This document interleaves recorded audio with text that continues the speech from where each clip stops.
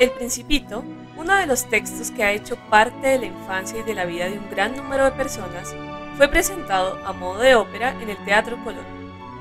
Esta obra fue realizada en febrero del año anterior en Lima y llega a Colombia con la idea de reactivar las actividades que se relacionan al teatro y la ópera en Bogotá.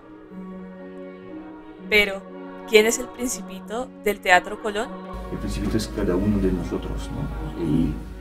Cada persona que lee el Principito se pone directamente, eh, que sea hombre o mujer, en, los pies del, Principito, en, su, es como nuestra mirada como un poco infantil. Bueno, el Principito para mí en realidad es, el niño interior que llevamos todos, ¿no? Eh, debería ser eh, ese reflejo de nosotros mismos antes de haber llegado a la adultez. Pues en realidad cuando yo pienso en el Principito pienso es como en todos los personajes del Principito, ¿no? El Principito es solo una de las etapas de nuestras vidas.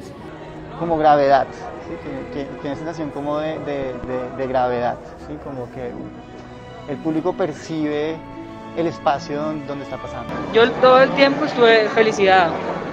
Eso es como lo que representaría para mí el principito, felicidad. Hay cosas que van más allá de lo que nosotros no podemos mirar. El genio. Un genio, finalmente. Curioso. Pensaría que ingenioso. Para mí sería esa entrega, ese recorrido que listo por por cada parte. Corazón.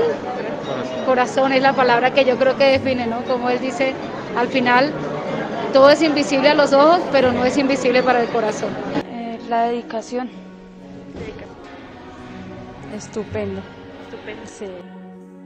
Sueños. Curioso. Valentía.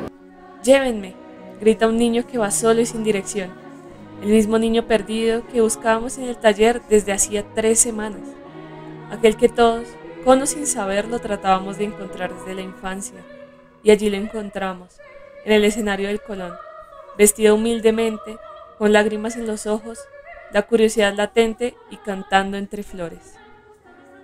El principito no muere, simplemente eh, duerme y se despierta cada vez que lo buscamos.